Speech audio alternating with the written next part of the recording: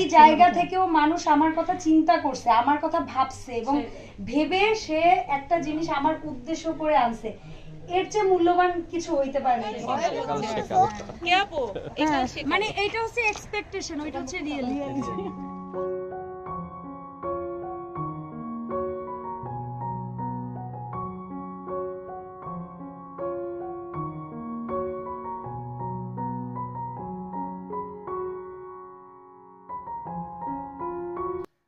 আসসালামু আলাইকুম, my daily life in বিডির পক্ষ থেকে আমি ফাতেমা আক্তার রোমা আবারও চলে এলাম আরও একটি নতুন ভিডিও নিয়ে। আশা করছি যে যেখান থেকে এই ভিডিওটি দেখছেন সবাই অনেক বেশি ভালো আছেন, সুস্থ আছেন এবং নিরাপদে আছেন।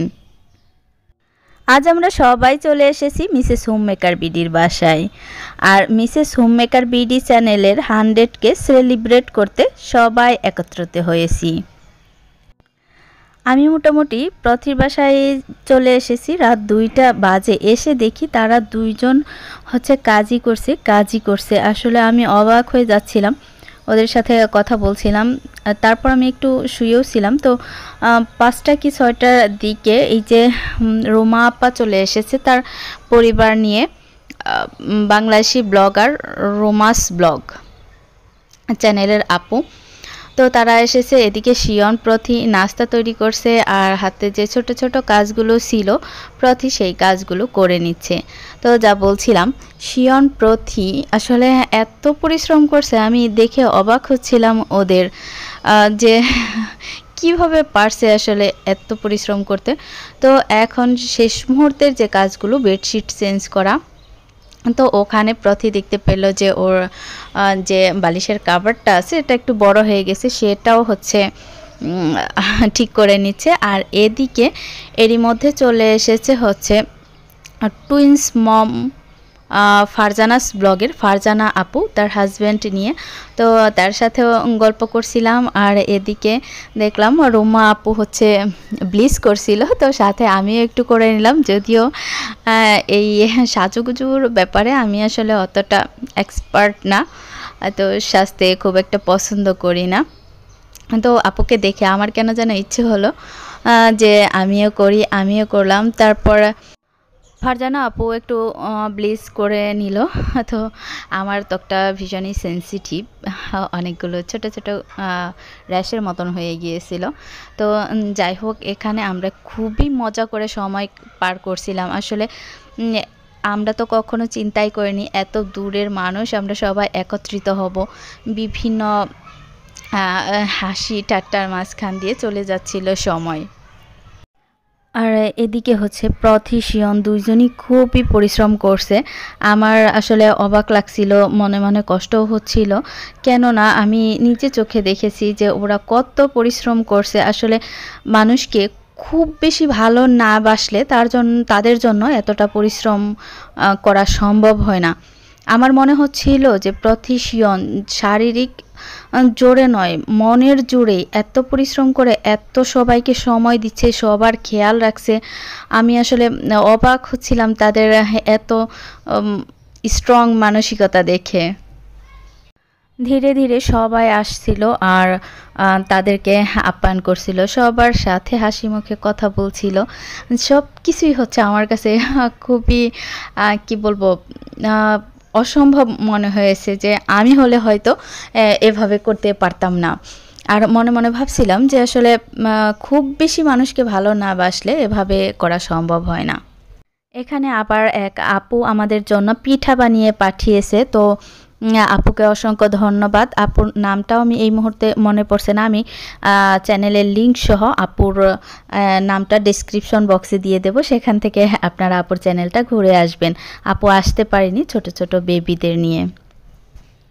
এদিকে সবাই ধীরে ধীরে আসছিল আর সবারই মোটামুটি নাস্তা খাওয়া শেষ হয়ে গিয়েছে। এখন সবাই রেডি হয়ে নিচ্ছিলাম দুপুরের জন্য। আর এরই ফাঁকে ফাঁকে হচ্ছে এই যে আপুদের সাথে গল্প করছিলাম আপুর কাছ থেকে চা বানানো শিখলাম।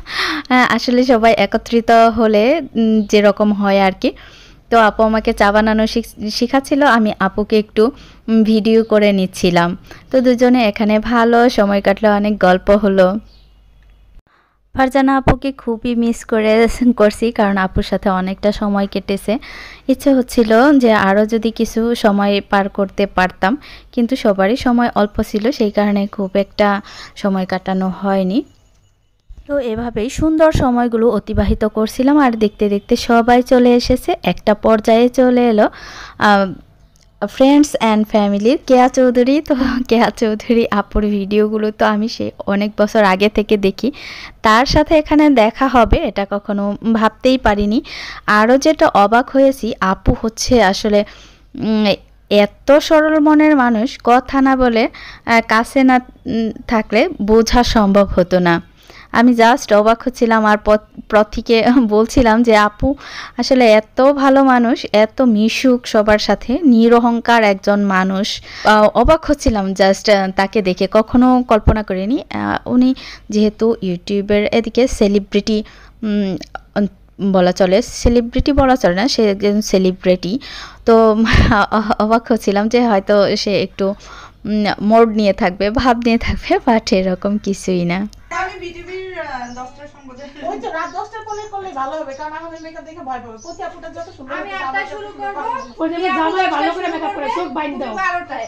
আর আর তুমি আটটায় করবা তাহলে কি? তোমার একটু বড় ইচ্ছা জামাই যে চ্যালেঞ্জ দিছে চোখ বাইন আমি খুব লাইট বেস করব লাইট ফাউন্ডেশন বা আদার্স কিছু ইউজ করছি না একটু লাইটের মধ্যে। এই কম কম সাইজ নাহলে তোমার বেশি সুন্দর লাগবে।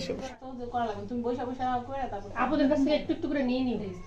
সবার কাছ থেকে একটু একটু নিয়ে তুমি একসাথে এই দুধ কলা দিয়ে আমি এত কাল সব পুষেছিলাম। এই দিন আমারে ও ঠিক আমারে পুষছে এটা সত্যি কথা। ও হচ্ছে আমাকে পুষছে। এই যে দেখতে পাচ্ছেন এই বাকি ছিল ঠিক আছে না দেখলেও নেই আপু রেড কালার লিপস্টিক হ্যাঁ। করছে আচ্ছা। আর ব্যাগের ভিতর রেড কালার লিপস্টিক সব সময় থাকে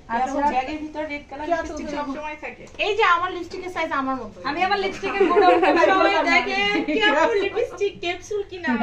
ও ওয়াও দারুণ। কেন? ব্যাগে রাখতে সুবিধা। এটা আমি খাই ফেলে। দেখি একটু লিপস্টিকটা মান হয় একটা খাইছে কিন্তু ক্যাপসুল সিরিয়াসলি খেয়েছে? খাইছে মানে শেষ করছে। ও আচ্ছা আচ্ছা। এই যে। এখানে আমাদের ভীষণ সুন্দর সময় কাটছিল, সবার সাথে খুব মজা হচ্ছিল। এরই মাঝে ডায়েরি অফ ডিজায়ারের মেহনাজ আপু চলে এসেছে তার কিউট দুইটা বেবি নিয়ে। মেহনাজ আপুর কিউট দুইটা বেবিকে যে আমার কি ভালো লেগেছে, আমার খুব মিস করছিলাম আমি যে ওদের সাথে যদি আর একটু বেশি সময় কাটাতে পারতাম। তো ইনশাল্লাহ হবে একদিন। আর এদিকে দেখতে পাচ্ছেন আয়শা আপু। আমাদের সকল ইউটিউবারের একদম মধ্যমণি।